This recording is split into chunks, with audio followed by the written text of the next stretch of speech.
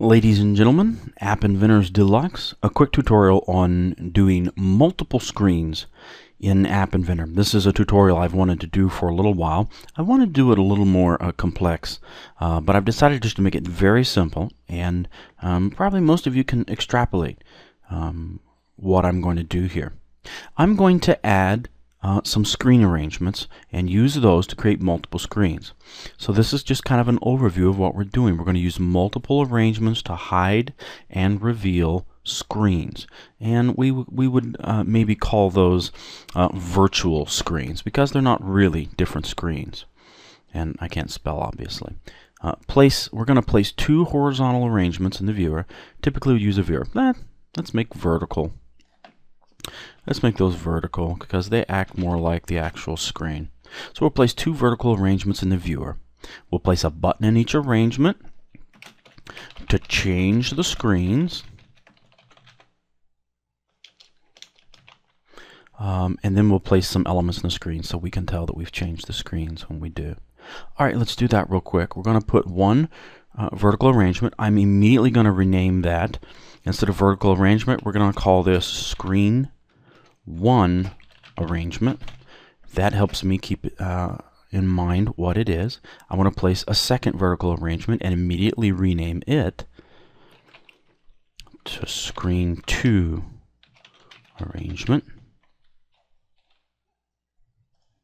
So I've got screen 1 arrangement and I've got screen 2 arrangement.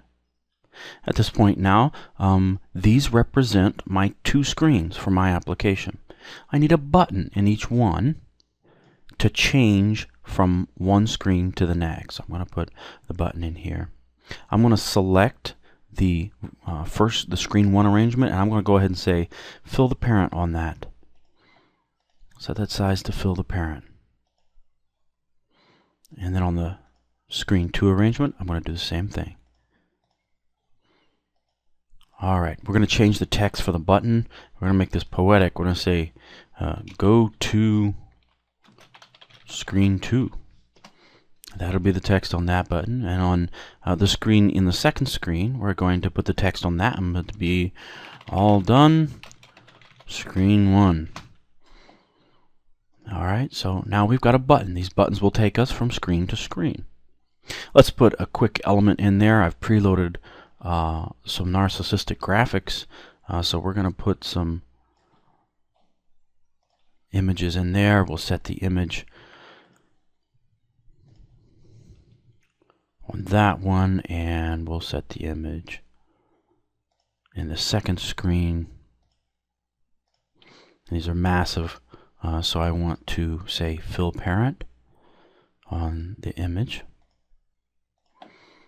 And we'll go back to the second image, do the same thing, set the fill parent.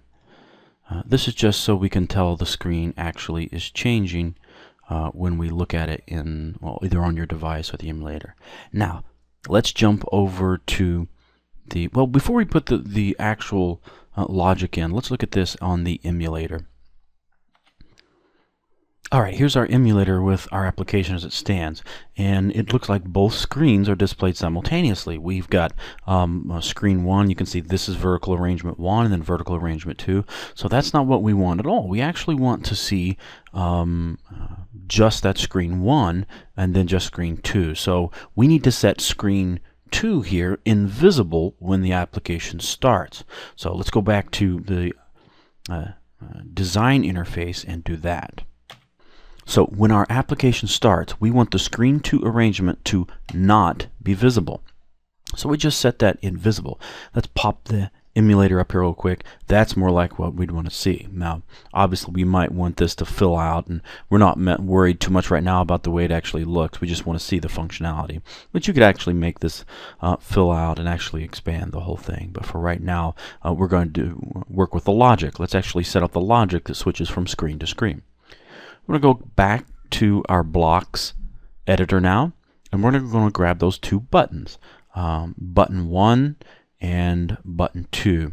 Uh, button 1, which we didn't rename, we probably should have, was the screen arrangement button uh, to take us to screen 2, and button 2 should bring us back to screen arrangement 1. All right, so when button 1 is clicked, then what do we want? We want screen arrangement 1 to go invisible. So we should set screen arrangement 1 visible to false. And then um, at in that same click, directly after screen 1 goes invisible, we want screen available, uh, screen arrangement 2 to go visible. So look what I've dragged out here uh, into my button click event. I have dragged out screen 1 arrangement set, screen arrange 1 arrangement visible to false, so it's no longer visible. And then I dragged out uh, screen arrangement 2 set, screen 2 arrangement visible to true. So screen arrangement 2 just became visible. Now, a little clever trick here. I want to copy that event, uh, paste it, drag those out. This is just a shortcut trick and then swap for the other button. So in essence, screen arrangement when button 2 is clicked, then screen arrangement 1 becomes visible, and screen arrangement 2 becomes invisible. Let's see what that does in our emulator now.